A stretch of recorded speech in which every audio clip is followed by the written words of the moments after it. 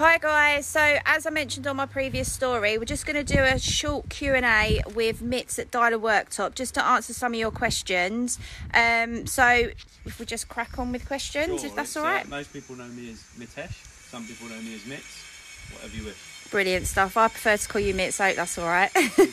Brilliant stuff. Okay, so why should people use you and not any other uh, kitchen companies? Well, kitchen companies restrict your choice. We have access to hundreds of different material. Well, a few different materials, but loads of choice amongst those uh, materials. So we have all the big brand stones, which kitchen companies normally have, but we also have the natural stones, which we can arrange for you to view um, at the warehouses that we buy them from, and it lets you just open up the door to what worktop you really want.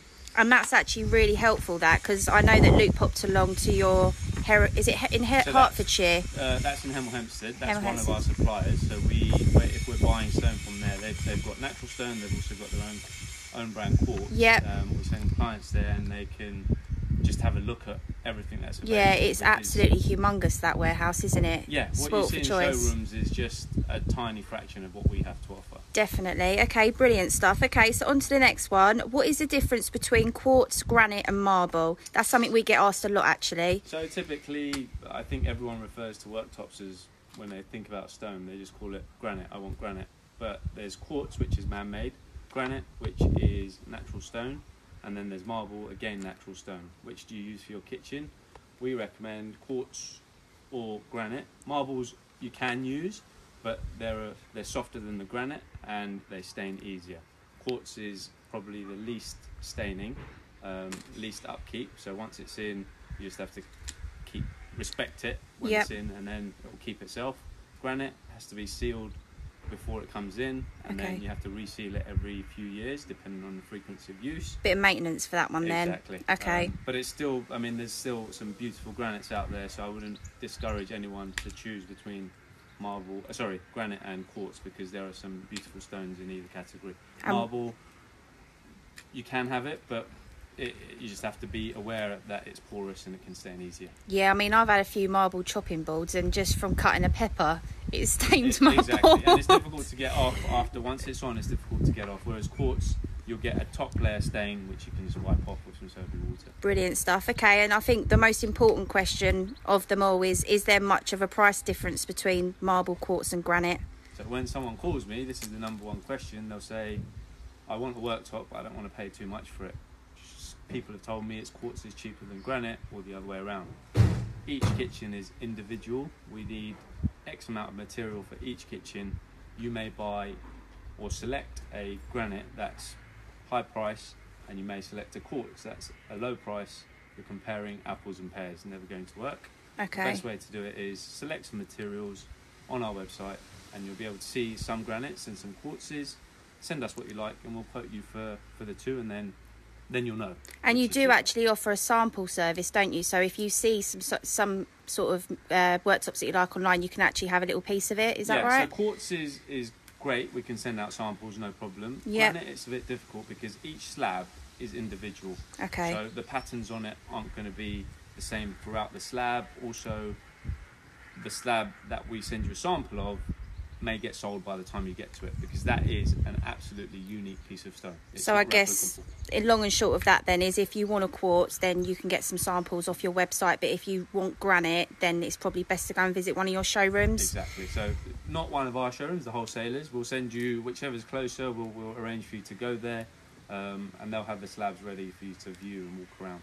Brilliant stuff. And what sort of worktop would you recommend for those that want a lot of vein, uh, like marble vein effect to it?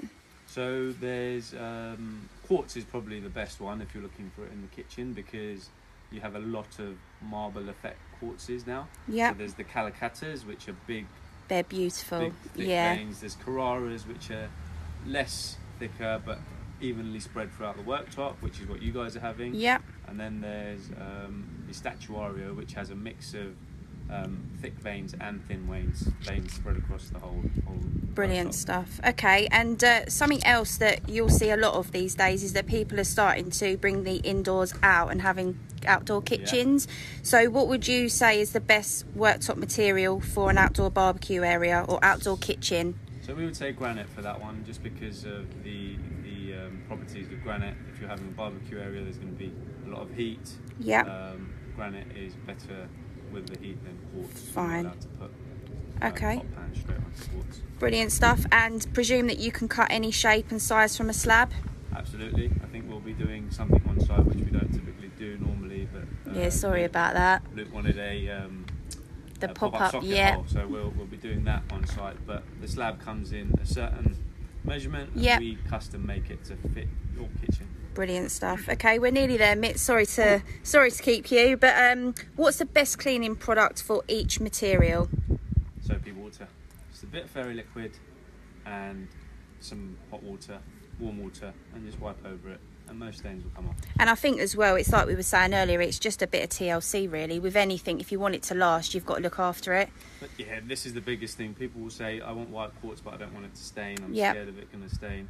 Well, if you cook, eat, and then clean, if you follow that pattern, which I think most people do, then it's going to be fine. But if you spill something and leave it overnight, then I think you're going to get a stain, and you shouldn't Yep. be too surprised if you do. Brilliant stuff. And last but no means least, do you work all over the UK? UK's uh, a bit big. We'll, we'll keep it to England. Yep. Cover most nooks and crannies of the of England. Um, but feel free to give us a shout, and we'll we'll see if we can get you. Brilliant stuff. Do you want to give us a twirl so we can see your details on your Oh, back? yeah. We. Well, hey, brilliant stuff. Thank you very much for your time, Mitts.